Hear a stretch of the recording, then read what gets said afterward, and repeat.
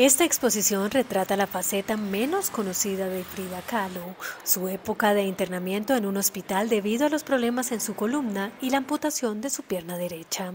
La exposición se puede ver en la ciudad de Guadalajara y acá se ve a una Frida Kahlo más humana, vulnerable, deprimida, una estampa distinta a la figura que el imaginario colectivo ha formado de la pintora siempre con mirada fuerte y orgullosa de su vestimenta la curadora de la exposición y sobrina nieta del artista Cristina Kahlo. Desde un punto de vista mucho más humano, o sea, no como, como la...